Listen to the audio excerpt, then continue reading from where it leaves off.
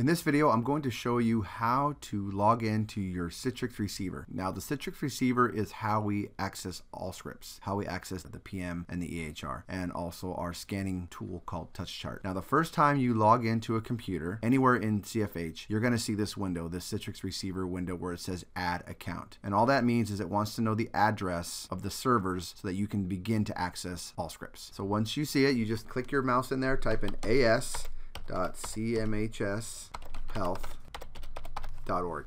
And that's it. Once you log in and you add, you'll never have to add it again. And once you click add, the Citrix receiver window will pop up and will show you all of the things that you have access to. In my case, I have the EHR and I have the PM and I have a few other. Here's the TouchChart, which is what we use for scanning. And then I have a couple of other PM tools that I use. And that's how you log in to your Citrix receiver.